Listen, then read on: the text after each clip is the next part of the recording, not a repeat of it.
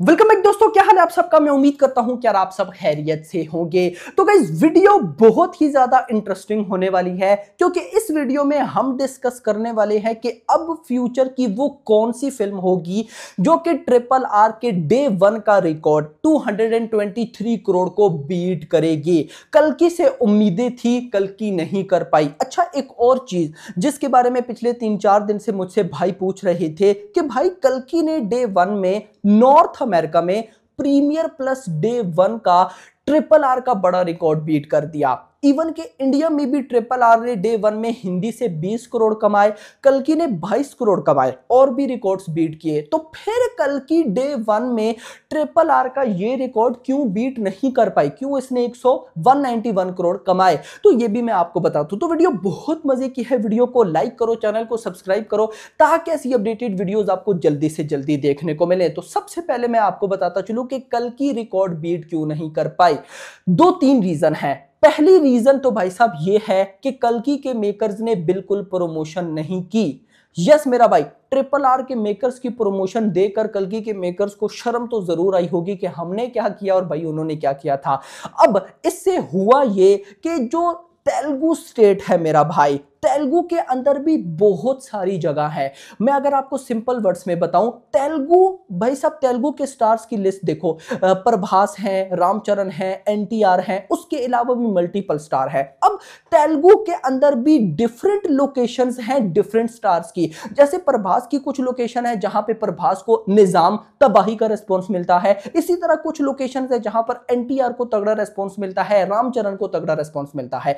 तो एक चीज़ तो ये कि भाई साहब यहाँ पर कलकी ने तेलुगु लैंग्वेज में भी मतलब अपनी उधर भी प्रमोशन उस लेवल की नहीं की, हर जगह पर बुज्जी को भेजते रहे। अच्छी बात थी, लेकिन खुद भी तो आते, मेरा भाई। बहुत कम प्रमोशन हुई प्री रिलीज़ इवेंट भी नहीं हुआ। तो तेलुगु के अंदर ही वो प्लेसेस जहाँ पे रामचरण एनटीआर ये डिफरेंट एक्टर्स को बहुत अच्छा रेस्पॉन्स मिलता था, वहाँ पर कलकी को नहीं मिल पाया। रीजन नंबर वन और कल की को रेस्पॉन्स इसी वजह से मिला था कि भाई साहब, दो बड़े स्टार थे। तीन बल्कि मैं बोलूँगा, भाई एस एस राजा मौली भी स्टार से कम थोड़ी है। Ram Charan N N T R हर एक हर एक की अपनी वैल्यू जिस वजह से बहुत बड़ी कलेक्शन आई थी। ये एक मसला था। दूसरी प्रॉब्लम डे वन में था सेमीफाइनल जिस वजह से भाई साहब जो ऑक्यूपेंसी थी, उसमें थोड़ी सी प्रॉब्लम देखने को मिली। हुआ क्या? प्रभास की लास्ट मूवीज़ के रिव्यूज़ इतने अच्छे नहीं थे। लेकिन इस रिव्यू इस मूवी के रिव्यूज़ बहुत ही कमाल के आए। लेकिन रिव्यूज़ आते आते दिन के दो तीन बज गए। अब उस टाइम भाई साहब कितनी ही लोग बुकिंग करते, क्योंकि आगे सेमीफाइनल था तो ज़्यादा पब्लिक ने भाई अगला दिन फ्राइडे चुन लिया कि आराम से देख लेंगे। एक ये वजह वजह भी थी जिस वजह से भाई साहब रिकॉर्ड बीट नहीं हो पाया। तीसरी वजह मैं आपको बताऊँ, वो वजह ये है कि मेकर्स जो हैं, उन्होंने जानबूझकर ज़्यादा कलेक्शन नहीं बताई। जो थी वही बताई। मेकर्स चाहते तो 224 करोड़ का पोस्टर ठोक देते ना, या फिर 200 करोड़ प्लस ले जाते, लेकिन नहीं मेकर्स 191 करोड़ ही ठहरे। और ये नल्ले बोलते हैं कि फेक कलेक्शन फेक कलेक्शन तो खैर, ये रीजन थी जिनकी वजह से भाई साहब कल की रिकॉर्ड बीट नहीं कर पाई। अब आते हैं कि भाई कौन सी नेक्स्ट ऐसी फ़िल्म है जो कि ये रिकॉर्ड बीट कर सकती है। तो देखो गाइज़ सबसे पहले तो मुझे लगता है कि इस साल में ही एक ऐसी फ़िल्म है जो कि रिकॉर्ड बीट कर देगी। ये वाला बाप पूछेंगे कि इस साल में है? तो गाइज़ वो है पुष्पा पार्ट टू। यार देखो, फिर बोलूँगा पुष्पा पार्ट टू को भाई मज़ाक मत लो। मैं जब कल की अभी रिलीज़ नहीं हुई थी, जब पुष्पा पार्ट टू पोस्टपोन नहीं हुई थी तो मैं उससे पहले भी बोलता था कि कल की मुझे लगता है 20 से 25 करोड़ या मान लो 30 करोड़ की नेट कलेक्शन कर लेगी हिंदी बेल्ट में। लेकिन पुष्पा द रूल, अगर रिलीज़ से पहले उसका टीजर और ट्रेलर बाप लेवल निकल गया, जैसे बाप लेवल बोलते हैं, जैसे कल की ट्रेलर निकले, जैसे एनिमल के ट्रेलर निकले बाप लेवल अगर उस तरह का पुष्पा द रूल का ट्रेलर निकल गया डे वन में पचास करोड़ से कम वो हिंदी नेट कलेक्शन नहीं कर सकती। This is hundred percent official granted मेरा भाई, ये मैं मज़ाक नहीं कर रहा हूँ। डे वन पचास करोड़ की नेट कलेक्शन तो जो थोड़ा बहुत इशू तेलुगु लैंग्वेज से रह जाएगा, वो भाई साहब इधर हिंदी से पूरा हो जाएगा। डे डे वन पचास करोड़। मज़ाक नहीं है ये ये होगा। क्योंकि जितना पब्लिक पुष्पा द रूल के लिए हिंदी ऑडियंस एक्साइटेड है ना अभी आप लोगों को क्रेज नहीं पता। सो so, और ये मैं बोलता हूँ कि भाई साहब कहीं ना कहीं पुष्पा द रूल पोस्टपोन होके आगे चलेगी तो ये अच्छा हो गया।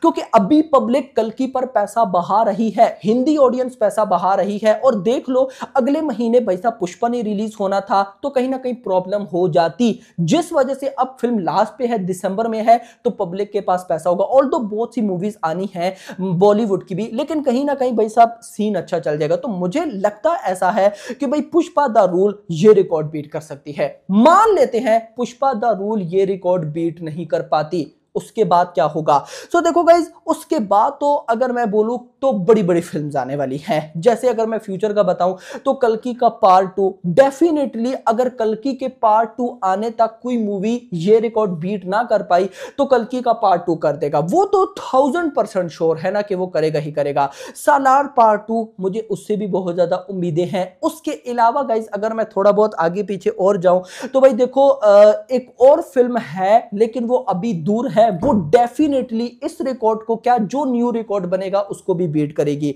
और गाइज़ वो है भाई साहब स्पिरिट यस मेरा भाई, संदीप रेड्डी वांगा। भाई, वो जब भी फ़िल्म लाया, अगले साल 2025 के आखिर में लाया, उससे अगले साल 2026 के आखिर में लाया, जब भी लाया, आप समझो कि ये रिकॉर्ड क्या, जो इसके बाद भी अगर कोई रिकॉर्ड बना हुआ तो वो रिकॉर्ड बीट हो जाएगा। रीजन एक ही है कि संदीप रेड्डी वांगा की तेलुगु में, यार तेलुगु को छोड़ दो ना, संदीप रेड्डी वांगा की हिंदी बेल्ट में अच्छी पकड़ है, पर भास को तो अब भाई साहब, जो लोग भूल चुके थे एग्ज़ाम्पल ले रहा हूँ, वो भी भाई साहब सब वापस आ चुके हैं तो प्रभास का तो एरा बाप लेवल स्टार्ट हो चुका है।